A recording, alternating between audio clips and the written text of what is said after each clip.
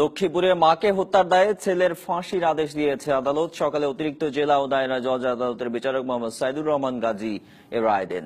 দু হাজার পাঁচ সালের সতেরোই জুলাই রাতে লক্ষ্মীপুর জেলার কমলনগর উপজেলার চর মার্টিন এলাকায় পারিবারিক কলহের জের ধরে মা খায়রুন্নেসাকে কুপিয়ে হত্যা করে ছেলে হারুনার রশিদ। মায়ের মরদেহ টয়লেটের মধ্যে গুম করে রাখা হলে বিষয়টি এলাকাবাসী জানতে পেরে হারুনকে আটক করে পুলিশের হাতে তুলে দেয় তারা। পরে আদালতে জিজ্ঞাসাবাদে মাকে খুনের কথা স্বীকার করে হারুনার রশিদ। এই ঘটনায় নিহতের মেয়ে মিনারা বেগম বাদী হয়ে রামগতি থানায় তার ভাইয়ের বিরুদ্ধে মামলা করে। তদন্ত শেষে ওই বছরের উনত্রিশে সেপ্টেম্বর হারুনকে অভিযুক্ত করে আদালতে প্রতিবেদন দাখিল করে পুলিশ।